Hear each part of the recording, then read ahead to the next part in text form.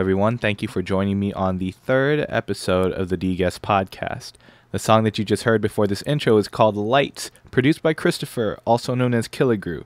And as many of you who follow him know very well that he's transparent with a lot of his things, uh, with whatever he's doing in life, whenever he's creating some new music, etc., etc. And I thought it would just be cool to have a little podcast version of all that. Uh, he goes pretty into detail about what his background is, what his upbringing is, and you might find it cool to listen to while you're walking the dog or while you're washing the dishes, cleaning around the house, and whatnot. So, hope you enjoy this one, and thanks for joining. Yeah, thanks for having me. uh, so, yeah, how I got to this point. Uh, I've been basically I've been writing music for 10 years this summer, I think. Uh, mm. I'm 26 soon, so I started. It all started when I was like 15, 16, and uh, coming from this metal background, I knew that I wanted to be in a band. Uh, but you know, when you're a beginner and your friends have been playing guitar their whole life, you're too like you're too much of a beginner to join them, right? So mm-hmm. I just played on my own for like a, a year or so, and then I got into the high school when I was 16. I got into the music-oriented uh, class. Like everyone in this class is either uh, studying music or theater or like art, like like drawing and stuff. So mm-hmm. a lot of my old friends they were already in this class, but the thing was, I was the only one there that didn't play an instrument like until I joined. So my teachers, my teachers didn't really like me because I didn't, okay. I didn't, I couldn't play an instrument. I didn't understand anything. I couldn't read notes. Uh, so yeah, I felt like I was really the underdog, sort of. But I discovered one thing in the school, and that was on their computers they had Cubase. It's like FL Studio, but you know, uh, yeah, it's much. I think it's older, but yeah, yeah, it's basically it's a it's a DAW though, a digital audio workstation and I noticed they had these instruments on there, and uh, I've been uh, ju- I've just started to practice piano at home because I always liked the piano parts in like I always loved piano music, and I wanted to play since I was a kid, but I didn't start until I was like 16, 17. So I I used their uh, school computers and just learned how the how the programs worked, how the VSTs worked, and as soon as I got home. Uh, or not as soon as I got home, but yeah, later, like later that first year, I would download this software at my home computer, and I would just you know sit there and just figure out how you know harmonies worked, how to make, I don't know, just how to write music on my own, I guess.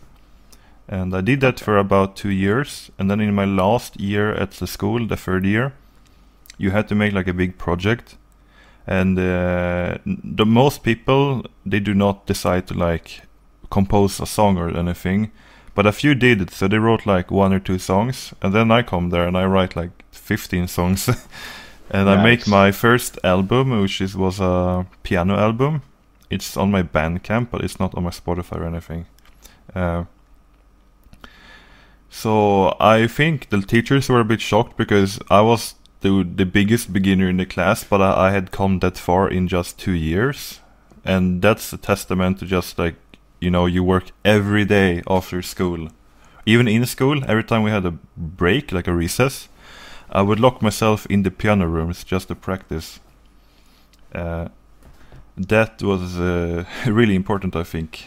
Uh, it was like i found this hobby that i never knew that i had a passion for and it just developed and uh, progressed so I guess flash forward after high school, I was home for one year. I went to the US actually with my mother and my grandparents for about how long? Yeah, I guess about a month. We stayed there. Should have seen me, man. yeah, but that we were in we were in New York and then yeah. and then like Chicago and like we just drove around there and visited some relatives. And those relatives are actually here now in Sweden visiting us today. Hey, that's okay. pretty cool. Uh, yeah. So yeah, when I came home from US, I think that was like autumn uh, 2011. Uh, I had this break, you know. I just finished high school. I didn't have a job. Uh, mom was like, "You need a job, or you need to continue studying on univers- university." But I told her like I would needed, I wanted one year at home first before I would decide to what to do. And that year at home, I uh, started my Killigrew channel uh, a few months after discovering Blackmill and Faint, and because I was a metal guy, I listened to metal music or piano music, and uh, some orchestral music, but I I was not into electronic music at all. Uh, it was, I think, uh, I I mean I heard Skrillex and that because that got really big that summer, Yeah. and I was like, this is pretty cool. But it wasn't until I delved deeper in the dubstep genre that I ended up in the chill step section of YouTube, and I was like, and I heard Faint and Blackmill, and I discovered that they wow they like they use a lot of piano, right? Right. And I play piano, and I figured, wait, what if I learn to make drum beats, and then I add that to my piano songs? Would that work? I w- that's uh, that's the idea behind me making the Killigrew channel in December that year. So wait, the channel was. Ba- did you upload piano material first, or you no, just no, no. uploaded? I had I had an older channel that I sort of abandoned to make when I made the Killigrew one. right. Uh, Okay, I think I remember that. That was your. That was like your actual name. yeah, I used my real Yeah. name that back then, and that was not a smart move. Oh, why not? Uh, so yeah, uh, I uh, I just delved really headfirst into electronic music, and the first year is I actually I wouldn't say that I made any like real chill step for the first year, even though I was inspired by Blackmill and Faint in the beginning. I just took time to learn the different genres. I tried uh, different genres like house, trance, uh, drum and bass, dubstep orchestral dubstep was like the first thing I tried, I guess. Uh, Mhm. And uh, yeah, I noticed that even in the first year, like some people really liked it, but yeah, it went really it went really slow, I guess. But I mean, I had no idea what what I was doing. Like, I had to learn FL Studio, and I had to learn. You know, you just try to soak in as much information as you can in as short period of time that you can. right. Uh, I I I got like help from certain people that knew more than me. Like they would tell me like this is how you sidechain. I was like, holy crap, this changes everything. And then uh, a few months later, in uh, like I think summer autumn 2012, I moved away. I got into this university for sound design and music. Uh, I would later uh, like uh, quit the university in my last year though, but uh, anyway, did you I, spend in the university? what How long did you spend in the university two two and a half years. Okay. It's supposed to be three or four. All right. Uh, so anyway, I moved to this new town, just one hour north. It's not that far, but yeah, I got this apartment with with my then girlfriend, and uh, yeah, I had a lot of free time then. Even though if I even though I was in uni- university, I had a lot of free time. So I spent almost every free time on uh, just because I understood from my because I tried these different genres and nothing really like I tried house, I tried trance, it wasn't fun at all. Drum and bass wasn't my thing, even though I tried it. But I noticed that the Colmer dubstep really, that was really where I had the most fun, and I felt I had the most freedom. Uh, But it, like, even though I wanted to make that uh, the year before, it took about one and a half, two years until I had the sound that I wanted. Uh, that, Okay. So it just that much time until I had the sound right. Uh, I remember Sacred in uh, autumn 2012. He taught me how to make those bendy sounds in Nexus, and that and the sidechaining that I, I learned those two traits you can say from two different guys. And uh, without learning that, uh, I don't know what would have happened. But then comes uh, 2013, and you know spring 2013. I make Courage, I make the song Kida, and I make Sweet Solitude. And that's when I noticed that, wow, things are really picking up now, right? Um, Mhm. I think Kida got 10,000 views in a week, and that's insane back then because I didn't. I had like maybe 2,000 subscribers, and you get I get five times the views that I have for subscribers. I don't know. This Yeah, that's true. That's today that's it. Today that's like impossible because YouTube uh, is much worse now than it was before. Uh, But yeah, Kida I think was like the song that really kickstarted uh, like to get people to listen to me. I guess it also helped that Blackmill himself commented on some of my songs because back then if someone commented on you. Their subscribers could see in their feed that they commented on that specific video. So I, I woke I woke up to like you know 500 new subscribers some days. Uh, that was insane because it felt like I don't know the community felt really alive and strong. It's different Right. now, but it's mostly because YouTube just is different. Uh, Google really ruined that. Facts, no, Google. but I, I know what you're talking about when you're Yeah. talking about uh, the community too. Like, uh, I think that's also part. Yeah. really just exciting. I felt like every time I made a song, the the community feedback was like a, a drug almost. Like uh, they gave you a, like a really like extreme sense of happiness that you felt like what you did really mattered. It's also But- really a positive community. Yeah, and at the time, I mean, I was still a beginner. I had just gotten into FL Studio. So yeah, I decided after I had made like a 10 songs in a row, I released those 10 songs as the Sweet Solitude album and I just put it up on Spotify. Uh, not really, I didn't really have any, any expectations at all. Uh, Mhm. I just put it up there because I have my goal with Killigrew was that uh, I wanted to take everything as serious as possible, like from visual art to I don't know. I just wanted it to seem professional, even though I wasn't. Even though I wasn't a professional, Right. and that was really important to me. And uh, then I took a break for, like not not a break, but uh, Sweet Solitude came out in like August 2013, uh, and those were just compiled of random singles that I had made in the past year, right? So I then decided, okay, I have this new idea. I just bought a new laptop. Actually, it's kind of interesting because I had no money then. Uh, I could barely pay the rent, even though you get money from the state to, to for, for for studying. I decided I'm gonna take a loan for like one thousand uh, dollars to buy a computer that I that I can actually produce on. So I did that, probably thinking I'm throwing all this money like away, right? Yeah. Uh, so I buy this new laptop. Why did I buy a laptop? Don't do that.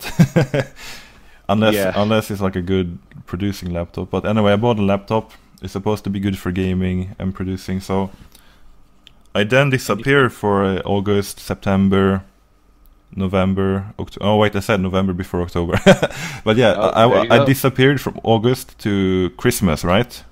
Yeah. and in that time i didn't i didn't post anything really i didn't post any songs but i made a, a album you know animus I remember that album. I Yeah. think that was the first one that I found you on, or that's the first time. Um, it, it was either Sweet Solitude, but I think Animus was the first one I fully listened to. Um, yeah because i i made those those songs together right so they're supposed to be experienced together Yeah. uh, released, released that probably like the day before christmas and then i went home and it's kind of funny because the last song i finished was coming home and then the day i released it i took the train to go home everything felt really special Yeah. But I remember a lot of promoters they were like, "No, this isn't good enough," and like, or they didn't answer at all. But uh, uh, only Chillstep, at least, he uploaded "Coming Home," and he got really a lot of support there. hmm So thank And you, now- thank you, only Yeah. Chillstep. uh, but anyway, then comes 2014, and uh, I have this talk with Varien, like you know, like a Skype lesson. Like you know, I pay him and he teach me stuff. Yeah. And uh, he was basically like, you have a good brand going. Like we- I love how you have this like nature and forests everywhere, and you have a. I love your melodies, but the mixing is really bad. Right. So he can like up to that part. I I didn't I didn't think my music was mixed bad because for me that wasn't the most important part. The music itself was really what was important to me. How I felt by listening to it, just the melodies and just the atmosphere. Like, like I don't care if it doesn't sound like a Monstercat song. You know, it doesn't have to sound super compressed, super processed, Mhm. super strong kicks. I didn't care about that too much. Uh, but anyway, they made me look at my music in a very critical way. Uh, Right.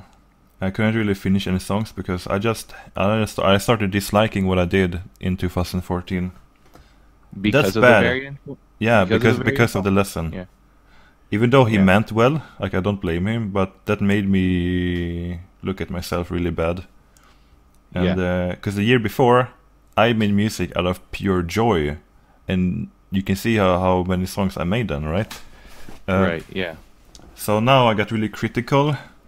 I I kind of took it upon me to like, okay, I need to get down how to make better kicks and snares. Uh, and then uh, May 2014, we have an accident in the family. Uh, my two older stepsisters, they were in a car crash, and only one survived. hmm And Oh. because of I was in that, so during May and June, I was just I have never really experienced like loss like that before Yeah. and uh, my long time relationship just fell apart because I wasn't myself. So I just let her slip away, and she. Uh, one week later, she was together with her best friend, like a, like a new guy that she knew, and yeah. I just felt like I don't know, it felt really bad because I was really happy with her. You know, I thought we would be together forever, and this is a girl I've been in, in love with since I was 15. So uh, that's many Yeah. years. And she just one week later, she already had a new relationship. You know, it felt really, really awkward and bad. Uh, anyway, I slowly started doing worse in university as well. That autumn, uh, I only released two songs that year, and that's "Deeper Still" and "Hurt." The only good Uh-huh. thing about this is that you can hear in "Deeper Still" and "Hurt" that my mixing got a lot better yeah. uh, the kicks and snare uh, especially sounds really the way I like it, and I still mix it sort of the same way now four years later. I'm pretty Right. happy with, uh, like I'm not like a big like I, I'm not an audio elitist, and I'm not like oh it's mixed bad. Like I only care about the music really. Like the content of it. Yeah, And yeah. that's what- that's It's- what comes first. Yeah, you do you. I mean, naturally you're gonna get better at mixing, right? But it's not like like don't stop yourself from releasing music because you, you're not happy with the mixing yet. You you can fix that later, like remix it or something, right? Right. and um, I uh, I moved back to my dad's house. Uh, I think in like November that year.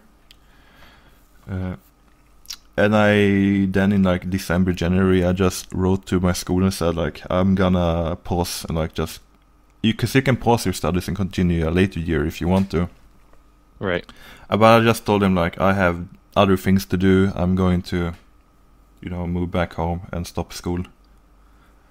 Uh, Okay. but one of the reasons for doing that is that I noticed it's kind of like fate into like it's it's uh, like you know fate intervenes when you least expect it. Uh, because uh, at the exact same time that I move home, I'm starting to get these like paychecks from Spotify. I noticed that oh, what's going on? Like people are actually streaming my music a lot. And I Yeah. thought this was a one-time thing. I was like, okay, I guess this happens maybe once a year. And the next month, I get the same. Next month, I get the same. Next month, I get the same. Half a year later, I get the same, but a lot more. I tell my dad, you know, dad, maybe I don't need a job. I can just focus on writing music now. And it was quite weird. And, uh, you know, I told my friends that, I mean, I had friends that were much more popular than me, but they didn't have music on Spotify. And I asked them, like, you should probably consider putting your music on Spotify because I don't know what's going on, but it's working. Right. Uh, and it's been four years now, and it's still what I do. Uh, even though people might think I'm not writing music, like I'm working on probably 20 songs right now. yeah. Uh, uh, you might not see me being active, but I'm actually playing piano and writing music all the time when I'm not like gaming with my friends and you know the composing. I have this months where I only compose, and then I have this months where I just you know sit down and I mix. And that's what I'm gonna go i- into very soon now. It's the mixing, st- Yeah. the mixing part. Yeah, I try to. I want to have one big album out every year. Like that's my goal. It Yeah. keeps me focused. And I Uh, think that's very you can do that. Like uh, I I hear your work, um, and it, you got to balance obviously just um, Yeah. the writing and the quantity and the quality, which I think you you know you have a very good sense of. I've heard your work, and when you uh, I just wanted to talk quickly about when you said you're mixing on deeper still and hurt. Um, the, the yeah, and those songs, I was gonna throw those songs away. I wasn't gonna release them. I wasn't Yeah. 100% happy. But I think I asked a friend, and uh, he was like, ah, just release them. And I put them out on YouTube, and the support was immense. Yeah. I did not expect anyone to like them, and they did. A lot of them. Hey, deeper still was a good song. I like that one a lot. Yeah, you, So- you did a cover of that, and that cover Yeah, kind yeah. of made me realize, wait, it actually is a good song. it, dude, it's a good song. You put out good stuff. Same Like, thing when you made the Lights piano cover. Your Oh, piano yeah. cover made me realize, okay, this song deserves to get some extra attention because I wanted Yeah. to remake it. Uh, I, I like I like the um yeah, and I don't I don't do piano covers anymore. I haven't been doing that Yeah. uh, recently. I still well, have I I, have your piano cover saved in my computer somewhere. That's awesome, man. Uh, I, I appreciate that. But I think uh, for me, it's just uh, what I really like about your songs. It's it's very you know it's simple, uh, but simplicity doesn't always mean that it's Yeah. just easy to make. You know, it's just very it's easy to listen to. Like the listening experience is, uh, experience is not it's not uh, tough to go through. But ever since ever since uh, your mixing uh, got better, um, I think that's where I think that's what is setting it apart. Because as much as you know, when when you had that conversation with Varien and you say that the content is important, um, mixing in a way is a part of that content. At least the way that I see it. And since I've been listening to more radio stuff Yeah. recently, um, at least it matters to me. Yeah, it But- matters. So it, it can be played on different speakers and radio. Like, it has to sound decent, right? Right. But it's not. Uh, in in the end, I love melodies. I love melodic music. Makes me, you know, music that doesn't need vocals necessarily. Like you can listen to it and just, you know, it puts you in this uh, magic world, uh, fantasy world, I guess. Uh-huh. Uh, Yeah, and also it's like because um, I I think the way that you write music too, it's it's a little bit difficult for a lot of people, uh, including myself, to try and do something like that. It's the it's hard to keep a song interesting without vocals. At least I think so. that's why I have Um, so many different parts, like part one, part A, B, C, D. So it Right. so it shifts, and you feel that shift in the rhythm and the I don't know. I can change up the chords so it feels more uplifting suddenly. Like the song can start sad, and then you Right. and then you you just randomly get this uh, rhythm and this uplifting harmonies, and you just you know you're on a, you're on on a journey. Right, right. Yeah, and I think that's that's where you can stand out a lot is that at least your music is interesting um, with the melodies and the sound choices that you have. It's it's tough to again, it's tough for me to write a song that is interesting without vocals. Um, and I know you've done a little bit before with like um, Elvia, if I'm not yeah, mistaken. yeah. yeah, yeah, yeah. So I have Um, uh, ex- uh, I have uh, done some experiments with Elvia for vocals and with my friend Claudie Mackula. I Mackula, remember, I don't know. I don't know how to pronounce her last name, but Claudia, you know, from Canada. yeah, Uh, you meant celery. yeah, wait, yeah, you know her, right? Yeah, I've sent her an email before. She she writes long emails. Yeah, yeah, she's an awesome. Yeah. She's she's she's awesome actually. She's but she was sweet. she was Yeah. really she was really easy to work with because I just asked her, "Can you hum something?" Like you know, just you know, la, like la la la, to this melody that I wrote on the piano, and she sends me it back really quickly, and I'm like, "Yeah, this is really good." Yeah. Yeah, I like that. Like, I I think she. Uh, I remember uh, she had this album that I listened to a couple of years ago. Um, but I cannot remember. I think it was Dreamer. Was that the name of it? yeah, I did I did the cover art I think for that. Oh yeah, yeah. Oh yeah, I do remember you did the cover art for that too. That was like what three, four years ago. I Yeah. think that's. I think it Yeah. was three years ago. Yeah, that was a sweet record. I remember that one. Um, but I haven't heard much of her work since. Uh, She has been she's- very active. I think she's getting more into like the whole, uh, you know, like other composers and you know games. They need like like she's getting kind of big in that way that she she features on other people's music, right?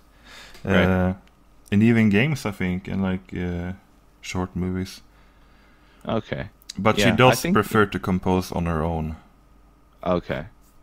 Yeah, I just remembered. Um, I remembered these were like the two, I guess, vocalists uh, you worked with, but even Claudia wasn't really. Uh, she wasn't very vocal heavy, I guess, on the songs that you've done No. or you've you tried to work with on her. Um, It, So- it wasn't lyrics or anything. yeah. Uh, I'm do I, I am challenging myself right now because I have started singing again for like the first time in like five years.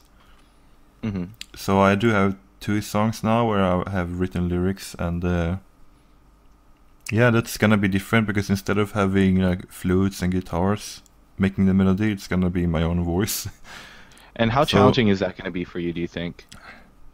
Uh, I I do have this new perspective of things uh, because I had to break out of the whole I hate my music, and I started to like I started to like understand that you know perfect imperfections. Like it's it's all right if it's imperfect. That's what makes it beautiful.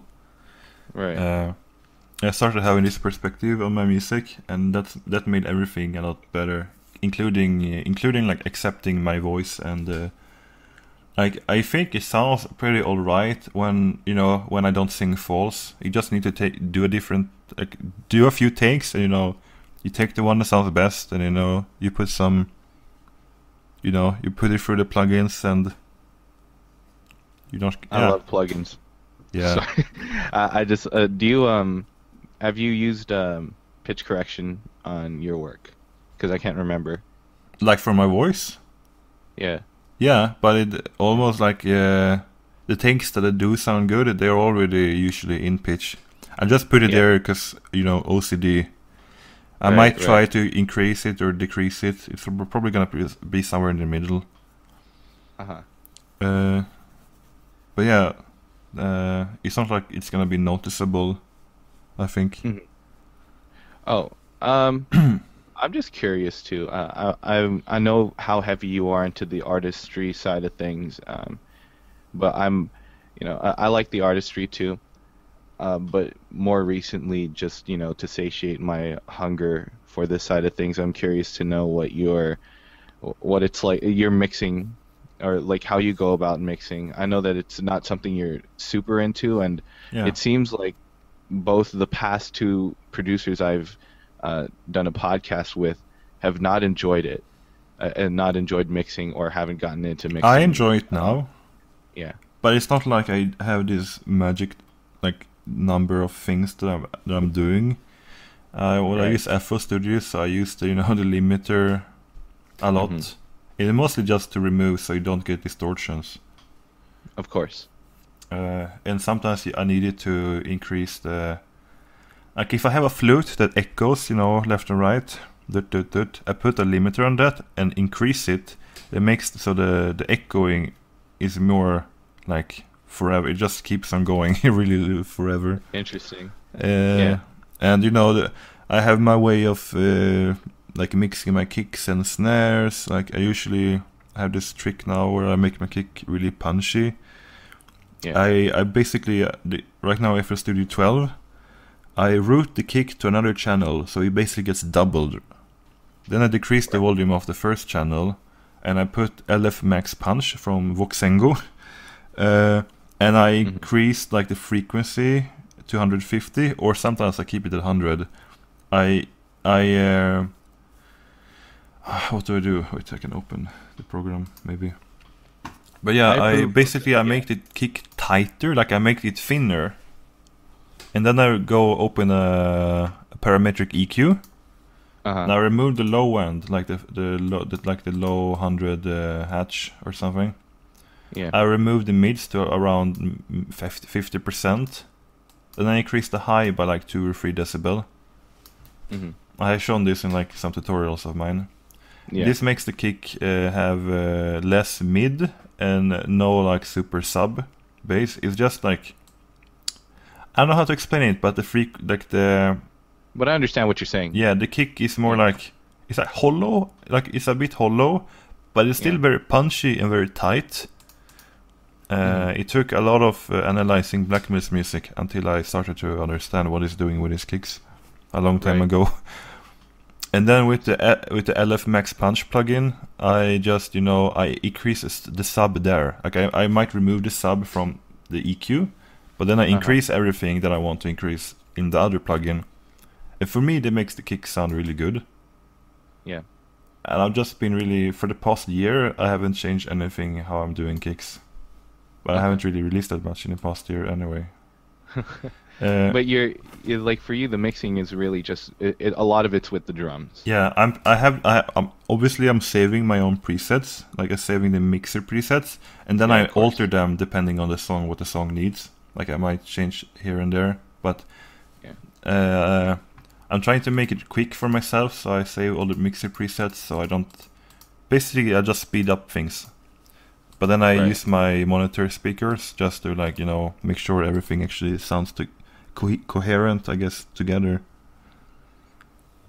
Uh, yeah. But Yeah, yeah, I I, mean, yeah. the biggest thing is just side chaining. Actually, Side chaining. Every side chaining like is, is I think side chaining is like the huge revelation for a lot of people when they uh, Yeah, figured out how to sidechain. Uh, I think it took me several years before I finally understood. Oh, sidechaining is actually pretty important to be able to yeah, uh, get certain instruments to stand out. because when the kick hits, uh, the things they side chain, you know, their volume ducks, it, it decreases for that like Yeah. millisecond, and that just makes the everything sounds really smooth. And you also Yeah. get that kind of you get that you get that bouncy feeling, even though it's not dance music. It's still important to get that bouncy feeling in the rhythm Oh yeah. Well, it's because you want people to move. Know? Yeah, you just feel you know feel the music and the sidechaining th- your kicks is uh, for me a big part of that. What are the um? I guess the compressors you use uh, for sidechaining? I don't use compressor for doing it, but I'm using the. Or I guess it's a compressor of sorts, but I'm using the. du- du- du- du- du- Where is it? It's the like a peak controller in Fruity Loops. Okay. Do you know what that is? I don't, but I it seems like Fruity Loops has a lot of good stock uh, yeah, plugins. I don't Uh, use uh, I don't use the instrument plugins, but like the mixer plugins I do use, like Yeah. delay, reverb, and the peak Yeah. controller and the limiter. I've seen a lot of people use the Fruity Verb, uh, which is uh, Yeah, I, I remember I was sometimes I trying use to it. yeah I was trying to tinker around with uh, Fruity Loops for a little bit, and I tried their Fruity Verb, and um, it was cool. I think actually when I first started, um, The delay is good. Yeah, The Fruity delay is very good. yeah. I haven't I haven't worked much with uh, Fruity Loops at all. I know that so many people do use it, um, but I, I mean, I guess I might be able to explore it at some point or another. It's just I, I'm always on Logic, so. Yeah, the only yeah. plugins in it. And like nobody in this space uses Logic, which blows my mind. But I mean, it's okay. I don't mind. Uh, Yeah, when you check Discord, I think there's like most people are FL Studio. Then we have Unoya. He's the only one on A- Ableton. oh yeah. and there's No, one and you- guy on Reason. And then there's. know- there's who is it? uh, yeah, I don't see anyone here in Logic at all. Yeah, no, everybody, and uh, also like I was on a Discord group chat, and they were like, "Yeah, we don't like," or someone didn't like Apple products. I mean, I get it, but I mean, also at the same time, like Logic, I think the thing that is different with Logic is there's a lot less automation you can do with uh, when it comes to creating your instruments. Yeah. Um, so it's just you have to do it more manually. Uh, but Ableton, I think, is a very powerful tool, and uh, I think um, I think that's also part of the reason that uh, Unoya is able to uh, do, or he's been able to grow as fast as he as he's done. Yeah. I mean, as, apart from the fact that he's also been working hard to learn so much. Yeah, he's been Yeah. learning really quickly. Uh, I, I, I think it's insane how much better he's gotten in just a year's time. Um, especially, I say I would say within the past four months, he's Yeah, yeah. The first song that, that I really like, he wowed me with was "Promises." I think that was in like in January or something. yeah. I heard that and I was like, no, this. I was blown away actually. and he started on guitar. I, I think he started uh, making that song on guitar too. Uh, Yeah, yeah, and then he transposes everything to the keyboard, maybe. Yeah. But now, like with especially with his newest EP, I think really um, "Leave Me Behind" is probably his best, his best piece of work. I haven't heard the Um, first song yet, so I'm gonna check that out soon. Yeah, cool. yeah, also, he has um, he has his yeah. sound going on. That's very important. Yeah, and it's it's distinct. You know, I think um, I think as he as time goes on, like uh, I'm excited to hear what the second year is going to be looking like for him because uh, he's grown a lot. Um, I wish I grew that much too as a producer, but um, Yeah. you know, you can only wish for so much. I mean, I was in GarageBand for until uh, for like four or five years, and that's okay. You know, it's it's it's a place to start. Like again, like I Yeah, always you think you get is- comfortable as well in your uh, DAW. Yeah. Uh, I, I don't see why I would change f- away from FL Studio. Like I, I'm very happy with the way you make beats. I'm happy with the way you automate. Yeah, and I that know, was a very powerful and you can tool. have like a you can you can you can select your background. So can I I can have a beautiful wallpaper behind everything. It's Yeah. easy to see where my sample packs are on the left side. I don't know. It's like I can make any genre in this. I didn't realize how powerful it was until like I started real- realizing how Me- many people were using it. Me neither, because Yeah. In my first year I used Cubase, and I thought FL Studio was like was a weak. I thought looked like FL Studio, yeah, FL Studio was like, oh, but that's like you can't you can only do so much in that. You gotta go Cubase if you want to do real music. How wrong I was. Yeah, exactly. No, I, I totally agree. Uh, They're all pretty much equal yeah. in power, I guess. all these all these DAWs are really like FL, Ableton. You guys can do probably 96, 97 percent of all the same things that all these DAWs can do. Even Reaper, What's I that? think. You've never heard of Reaper? Nah. Nope. I have a friend that that likes to talk about Reaper all the time, um, but that's aside from the point. I, I hate Pro Tools for producing, but Pro Tools is a great tool for mixing. I don't know if Yeah, you've yeah. ever used Like, it especially if you make live music, like my friends who makes metal music, Yeah. they mix in in Pro Tools. I've tried to understand Pro Tools, but it I've was come to was like it it enough. was hard. Yeah, I've come to like it enough, you know, especially for doing the engineering side of things. But for producing, it's god awful. Like trying to Yeah. write in MIDI, uh, it's just it's so much slower. I mean, you can still do it. It's just significantly slower than uh, on Logic or probably Ableton as well, because you can't program anything in there. They can't like program drums or whatever. Um, so that's it. Um, I have one more question. I Yeah. I have to I have to go get ready for school soon because I'm gonna be. Uh, yeah, I'm actually starving, so Yeah. Okay. Cool. But one more question. I can't let you leave before this one. right. Okay. Um, or I guess two. Is it Uh, from uh, have- Safaros? No, uh, Secret- no, they're not. secret question? No. uh, no, they're they're um they are the questions about the new tracks that are coming out and the shooting of the music video. How are those coming yeah, along? yeah. Uh, Yeah. So I got approached in in actually the second time I'm approached by someone like this. The first time the guy just flaked out, but this guy Oh. called Josh, maybe from California. He, I think he's five years older than me, so he's like thirty. Uh, but he works with music videos. He works for Disney, Lionsgate, like, and know, he's just a very talented video guy. He he told me like because he's a fan of my music and Blackmill and you know and guys like that, CMA. Mhm. Uh, he told me like w- if I'm up to actually m- making a real music video with m- one of my upcoming songs, and I sent him like ten different demos, and the one that he really liked was Fireflies, Yeah. which is a song that I've been working on on and off for f- since since Animus in 2013. And uh, I told him, all right, I'll try. I finished the song and let you know, no, let's go. And it's been going for like the project has been been going for like half a year now, and the video is almost done. He's making this alone though in California, and I'm here in Sweden. Uh, we're trying to keep it low budget because you know, I mean, it would Obviously, be really expensive if I if I flew out there, and I'm not gonna be in the video anyway. He has uh, Right. choreographers, and he's shooting at different locations. The song is over seven minutes, so there's a lot to shoot. Yeah.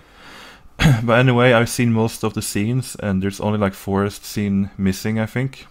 I think he's, he he filmed that this past weekend, so you know I'm just I'm this close to releasing it.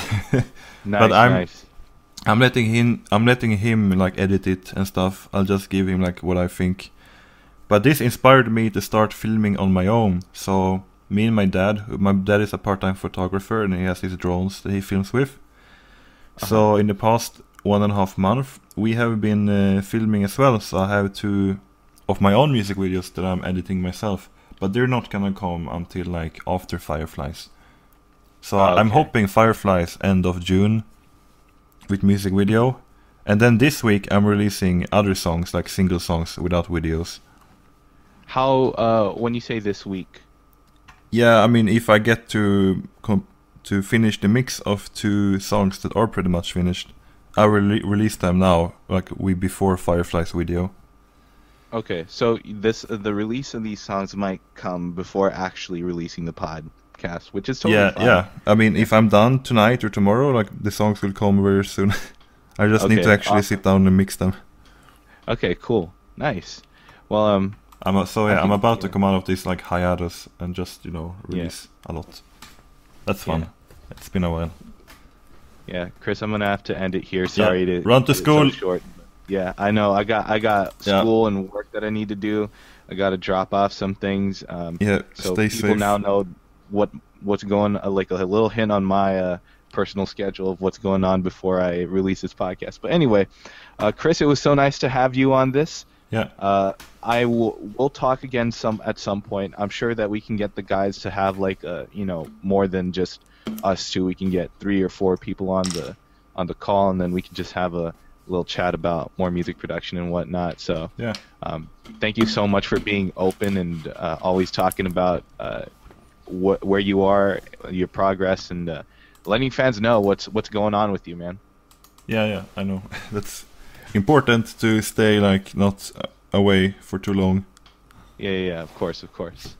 All right, man. Well, I'll talk to you later. All right. Yeah, I'll send you this audio file as well if you want the intro. Yeah. I, I, I, all right. Uh, sorry, I'm just thinking about other things, but yeah, send it to me. Yeah, sure. Cool. All right. Bye. Peace. Bye, man. Bye. Thank you. Thank you for listening to this podcast, guys. It really means a lot. Uh, if you enjoyed this, please share this with anybody who you think would find this interesting. Uh, if you want anybody else to be on this podcast, let me know in the comments or send me an email, however, you can get in touch with me, and I will see if I can get in touch with that person as well. Anyway, thank you for listening.